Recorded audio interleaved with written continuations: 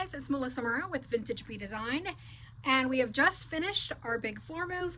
Sue and I will give you a tour of the store on Friday but um, at our typical Friday Night Live. But in the meantime, I was getting ready to paint this dining room table that just came in.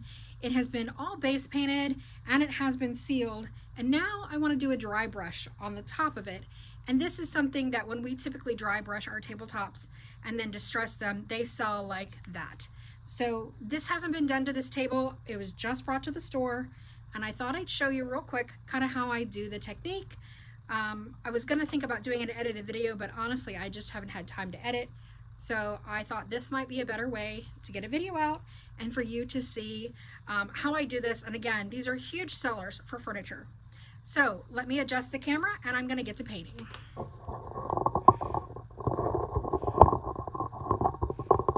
So if you're coming on and you're visiting, please go ahead and say hi, where you're from. I will um, check periodically as I'm painting. So this was painted with Dixie Belle's Caviar and then the base was painted with Dixie Belle Fluff.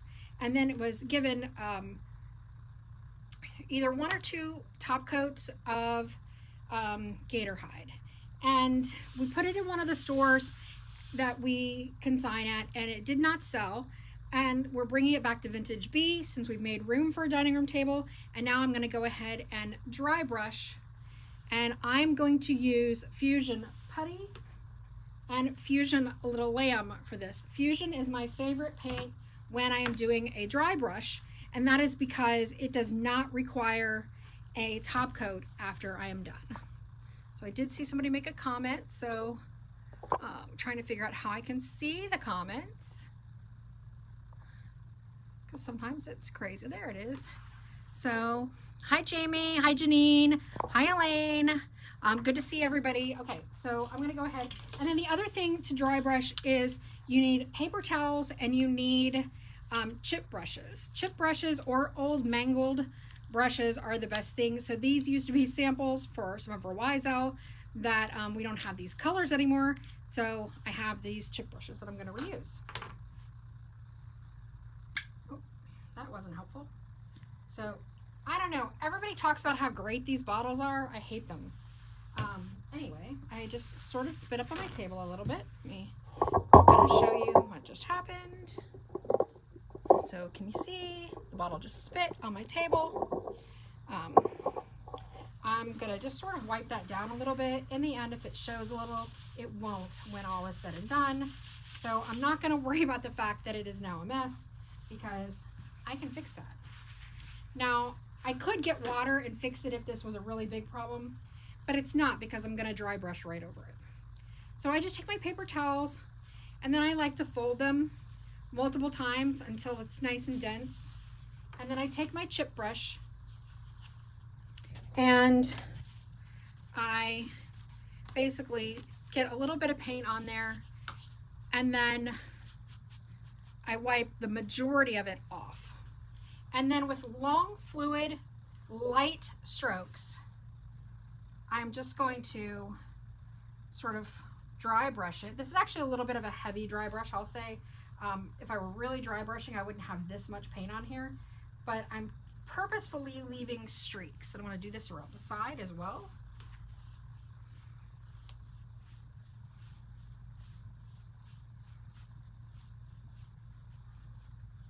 So I'm not going to do the whole tabletop live because you'd get bored with that. So I'm just going to do this portion of it here and then I'll get off and finish the rest of the table by myself. Now I am live in the store and I am the only one working right now. So it is possible a customer will come in and I'll have to prematurely um, get offline. But Wednesdays are not usually super busy days. What's important here too is that you try to keep your streaks relatively straight. So don't reach out too far or you're, you're, you're gonna get a little wonky in your straight line.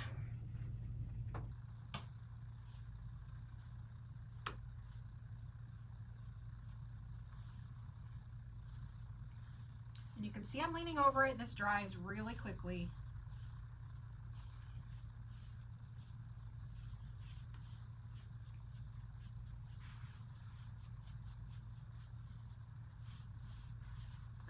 Two leaves in this table. And it's important that you paint the leaves at the same time that you paint the table. You don't want to paint those separately because when the leaves go together, you want to be sure it's painted just the same way. And of course, we know dining room tables sell really well this time of year as people are thinking about the holidays, Thanksgiving, decorating their homes, things like that. Now last year we didn't find we sold as many dining tables and of course we calculated that to coronavirus and people not having family gatherings. We're hopeful this year that we'll see an uptick in those. So we're trying to get a bunch done at the warehouse so we can bring them in as they as bring in new ones as ones sell here.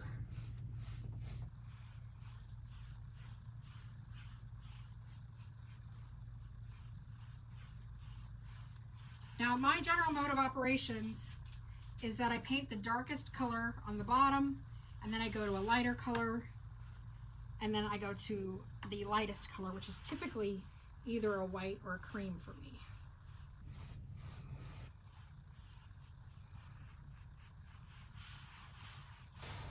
I'm just making sure I hit this edge.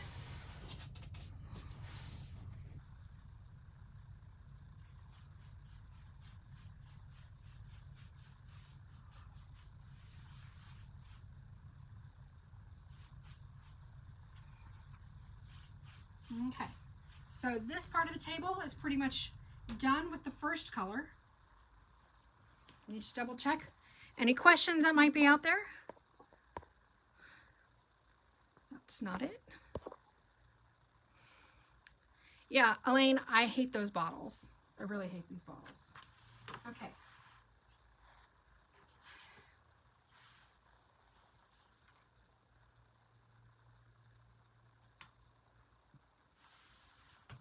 So I know I said I typically go from light to medium to dark. In this case, I went from dark to light, and now I've got my medium. Um, and I'm doing it this way to kind of, um, I have a lot of gray, and let me show you the fabric of my seats.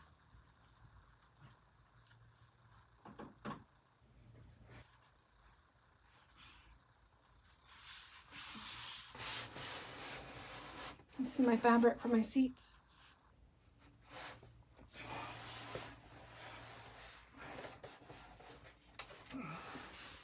So I have a lot of gray in the fabric of my seats and I really want to show that off. So that's why I opted for the gray. Now I'm to take my paper towels and I'm just to fold them so I can still use the same paper towel, but then I have a clean surface.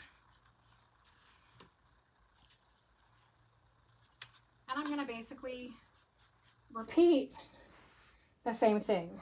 But this time I'm kind of going to make sure that I'm going over the lighter areas where you see most of the black underneath.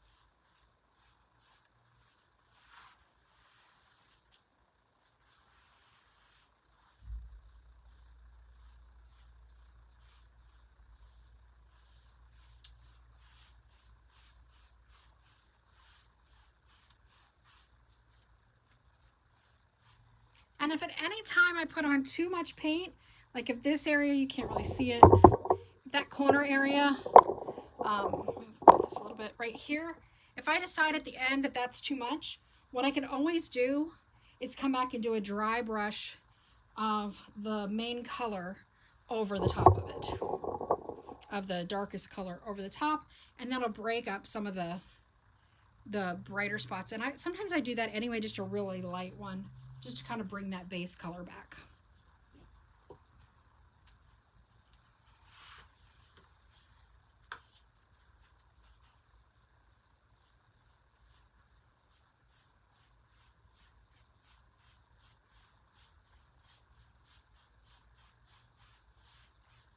This is a particularly great technique when the piece that you're painting has had a lot of scratches and marring on it. And then I go back in and I heavily distress it. And um, those scratches actually become really character in the table. I have done other videos where I've shown you like our old paint tables that I've taken those and done the same technique. And we actually sell them for quite a bit of money.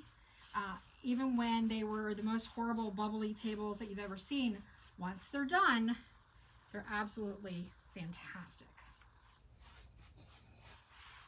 Um, another thing is if you're finding that the wood tops in your area are selling, like the planked wood tops or stained wood tops, is you can do this and then um, make your, your last coat like chocolate brown with fusion.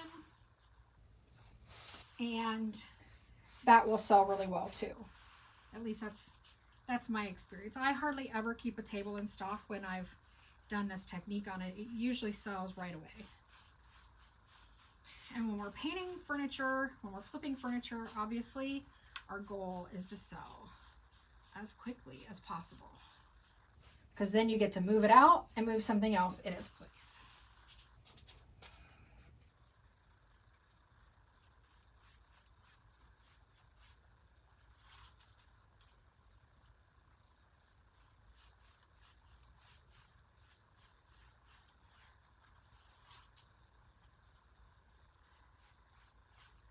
I don't know if you saw on Instagram that blue piece. It was white and then it was, and then I painted the top blue and then added some flowers to it. This is the exact same technique that I used on that piece. Um, the only thing is it was blue and white instead of um, black and gray and white. I first painted it all um, Liberty Blue with Fusion, excuse me, Midnight Blue with Fusion, and then I did Liberty Blue and casement uh, dry brushing over it. And I want to make sure to get my sides.